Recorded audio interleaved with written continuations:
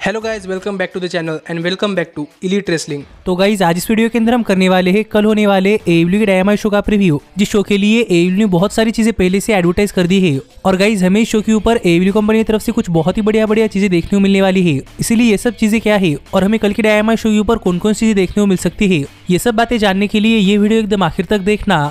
और गाइज़ ऐसे ही एवल्यू कंपनी से रिलेटेड हर एक न्यूज़ रूमर और अपडेट और एवल्यू कंपनी के हर एक शो का रिव्यू पाने के लिए हमारे चैनल को सब्सक्राइब करना मत भूलना। लेकिन गाइज़ अब ज़्यादा देर ना लगाते हुए चलिए ये वीडियो शुरू करते हैं और करते हैं कल होने वाले एवल्यू के डायमा शो का प्रीव्यू और जानते हैं कि हमें कल होने वाले डायमा शो के ऊपर कौन कौन सी चीज़ें देखने को मिल सकती है। तो गाइज़ सबसे पहला मैच जो कि एवल्यू कल के डायमा शो के लिए ऑफिशियल एडवर्टाइज किया है, वो है एवल्यू कंपनी के विमेंस डिवीज़न से एक normal one on one match जहाँ पर हमें रूबी सोहो नायला रोज को फेस करती हुई दिखाई देने वाली है।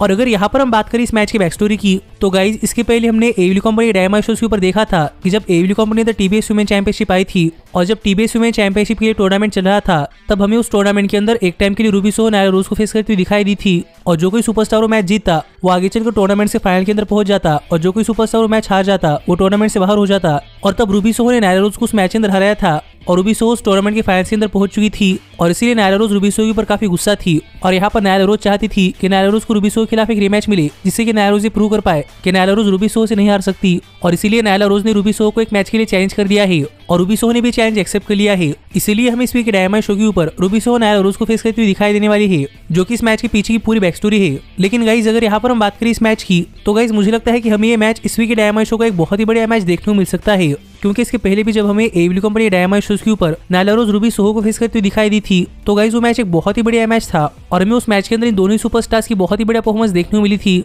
इसीलिए मुझे लगता है कि ये मैच इस वीक के डायमंड शो पर एक बहुत ही बढ़िया मैच होगा। सिर्फ़ विकी गरेर इस मैच के अंदर इंटरफेयर ना करे। लेकिन जहाँ तक बात है इस मैच की विनर की तो गाइज़ मुझे यहाँ पर ऐसा लगता है कि हमें यहाँ पर नायला रोजी मैच जीती हुई दिखाई दे सकती है। क्योंकि इन दोनों सुपरस्टार्स के बीच के पहले का मैच रूबी सोहो ने जीता था, इसलिए मुझे यहाँ पर ऐसा लग रहा है कि हमें इस बार नायरा रोज़े मैच जीती हुई दिखाई दे सकती है। और क्या पता इसके बाद हमें डिसाइडर यानी कि इनके बीच में एक रबर मैच देखने को मिले, जिससे हमें पता चलेगा कि इन दोनों सुपरस्टार्स के बीच का रियल विनर कौन है। इसीलिए मुझे यहाँ पर ऐसा लग रहा है कि नायरा रोज़े मैच जीतने वाली है, जिसके ऊपर आपका क्या कहना है, आप मुझे कमेंट कर बताइए। पर गाइस जोगला मैच जो कि एवली इस वीक डायमा शो के लिए ऑफिशियल एडवर्टाइज किया है, वो है एवली कंपनी के मेंस डिवीज़न से एक नॉर्मल टैग टीम मैच जहाँ पर मैं पाक और पेंटाइल जोरियम मिलकर Malakai Black House of Black की किंग्स ऑफ़ डार्क थ्रोन यानी कि मैलिका ब्लैक और ब्रॉडी किंग को फेस करते हुए दिखाई देने वाले हैं। और अगर यहाँ पर हम बात करें इस मैच की बैक स्टोरी की तो गाइज़ इसके पहले हमने एवली कंपनी के शोज़ के ऊपर देखा था, कि इसके पहले जब कभी एवली कंपनी के शोज़ के ऊपर पाक का मैच चल रहा होता था तो उस मैच के अंदर मैलिका ब्लैक इंटरफेयर कर देते थे। और मैलिका ब्लैक आकर पाक के ऊपर अटैक कर देते थे, जहाँ पर मैलिका ब्लैक ने पाक के आँखों के ऊपर बार बार ब्लैक मिस फेंका था। क्योंकि स्टोरी लाइन के अनुसार मैलिका ब्लैक जिसकी सुपरस्टार के आँखों के अंदर ब्लैक मिस फेंकते हैं, वो सुपरस्टार आगे चलकर मैलिका ब्लैक के लिए काम करता है। पर सरप्राइजिंगली पाक के केस में ये चीज़ नहीं बैठ रही, क्योंकि मैलिका ब्लैक ने पाक के दोनों आँखों के अंदर ब्लैक मिस फेंक दिया है। पर फिर भी पाक मैलिका ब्लैक के साथ काम नहीं कर रहे, और पाक का कहना है कि पाक मैलिका ब्लैक को डिस्ट्रॉय करने वाले हैं, क्योंकि मैलिका ब्लैक की सच्चाई पाक के सामने आ चुकी है। और इसलिए किंग्स ऑफ़ डार्क थ्रोन यानी कि मैलिका ब्लैक और ब्रॉडी किंग इन दोनों ने पाक को एक टैग टीम मैच के लिए चेंज किया। और पाक अपने फॉर्मर टैग टीम पार्टनर यानी कि पेंटा एल्जोरियम के साथ मिलकर मैलिका ब्लैक को इस टैग टीम मैच के अंदर फेस करने वाले है। और इसी बैक स्टोरी के साथ हमें मैच इस वीक के डायमा शो पर देखने को मिलने वाला है। जो मैच मुझे लगता है इस वीक के डायमा शो का एक बहुत ही बढ़िया मैच हो सकता है।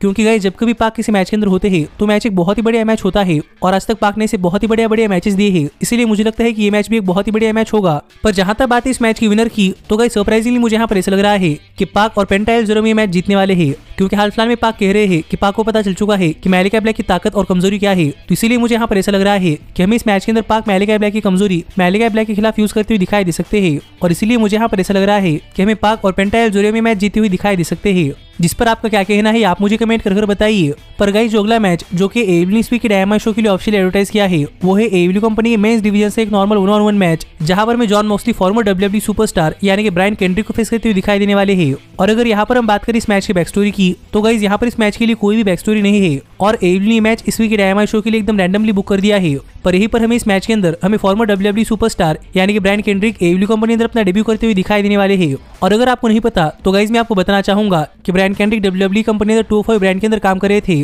पर अब हाल ही में WWE कंपनी ने ब्रांड कैंड्रिक को अपनी कंपनी से रिलीज़ कर दिया है और डब्ल्यू कंपनी से रिलीज़ होने के 24 घंटे के भीतर भीतर ब्रांड कैंड्रिक हमें एवली कंपनी के डायमा शो पर रेसल करते हुए दिखाई देने वाले हैं। जो इतनी जल्दी कैसे हो ये तो मुझे भी नहीं पता।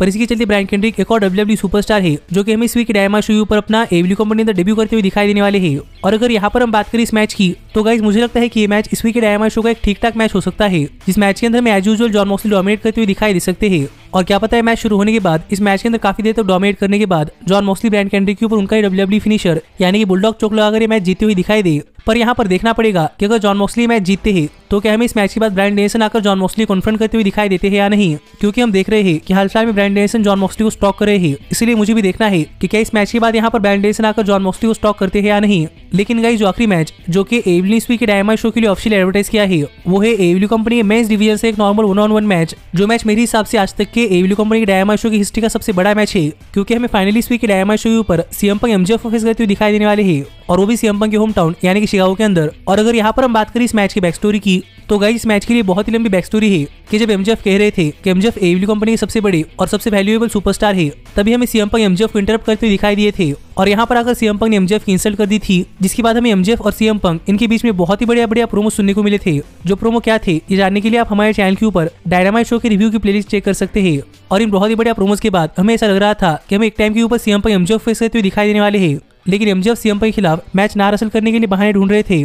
और इसलिए एमजेफ ने सीएम को अपने बहुत सारे पार्टनर्स यानी कि एफटीआर शॉन स्पियर्स और वार्डो से रसल करने के लिए कहा। पर सीएम पंग ने इन सभी सुपरस्टार को हरा दिया, जो देखकर फाइनली एमजेफ सीएम के खिलाफ एक मैच हासिल करने के लिए मान चुके हैं। और इसलिए हम इस वीक डायमा शो पर एमजेफ सीएम को फेस करते हुए दिखाई देने वाले हैं। जो मैच मुझे लगता है कि आज तक डायमा शो की हिस्ट्री का सबसे बड़ा मैच है। क्योंकि गाइस जब से सीएम पंग रेसलिंग इंडस्ट्री के अंदर वापस आए हैं, तब से हम सीएम पंग और एमजेफ के बीच में एक मैच देखना चाहते थे। और हमें फाइनली ये मैच इस वीक के डायमा शो पर देखने को मिलने वाला है, जो तो एक काफ़ी बड़ी चीज़ है। पर जहाँ तक बात है इस मैच की तो गाइज़ मुझे लगता है कि हमें ये मैच एक बहुत ही बढ़िया टेक्निकल मैच देखने को मिल सकता है। इस मैच के अंदर में सीएम पंग और एमजेएफ अपने बहुत ही बढ़िया बढ़िया मूव और बहुत ही बढ़िया क्लासिक रेसलिंग स्टाइल इंट्रोड्यूस करते हुए दिखाई दे सकते हैं। और क्या पता इस मैच के अंदर सीएम को होम टाउन एडवांटेज भी मिले। लेकिन जहाँ तक बात है इस मैच की विनर की तो गाइज़ एवल ने इतना बड़ा मैच एक फ्री टेलीविज़न के ऊपर दिया है। इसलिए मुझे नहीं लगता कि इस मैच का कोई क्लीन रिज़ल्ट निकलेगा। और इसीलिए मुझे यहाँ पर ऐसा लग रहा है कि हमें इस मैच के अंदर एमजेफ चीटिंग करते हुए दिखाई दे सकते हैं। और क्या पता यहाँ पर चीटिंग कर एमजेफ मैच जीत जाए। जिस वजह से मुझे ऐसा लगता है कि एमजेफ मैच जीतने वाले हैं। और वो भी शायद चीटिंग कर और आप भी मुझे कमेंट कर कर बताइए कि आपको क्या लगता है कि मैच कौन जीतेगा और वो भी कैसे? पर इतनी ही चीज़ें हैं, जो कि एवली इस वीक डायमा शो के लिए ऑफिशियल एडवर्टाइज की है। लेकिन इस सब के अलावा भी हमें इस वीक डायमा शो पर बहुत सारी चीज़ें देखनी है, कि आगे चलकर एवली company world tag team champions यानी जुरासी एक्सप्रेस का क्या होता है? हमें आगे एवली world heavyweight champion Hangman Adam Page और लांस आचर के बीच में क्या क्या देखने को मिलता है? जो सब बातें जानने के लिए आपको हमारे चैनल के ऊपर इस वीक डायमा शो का रिव्यू वीडियो देखना पड़ेगा। जो वीडियो अगर आप मिस नहीं करना चाहते तो हमारे चैनल को सब्सक्राइब करके नोटिफिकेशन बेल ऑल पर सेट करना मत भूलना। पर गाइज़ अब मैं मिलता हूँ आपसे अगली वीडियो के अंदर। पर तब तक stay healthy stay happy and keep watching elite wrestling did you like that video? Click the screen for more. And where do you think you're going? Check out our official merchandise page and to support the entire cast. And thanks so much for being the elite. The elite, the the elite. What, Nick, you're not going to sing at all with me this time?